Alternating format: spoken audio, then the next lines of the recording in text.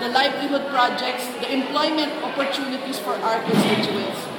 With PPP out of the way, because we're not already, they said themselves that they're not expecting PPP to prosper under the Aquino administration as claimed by Secretary Secretary.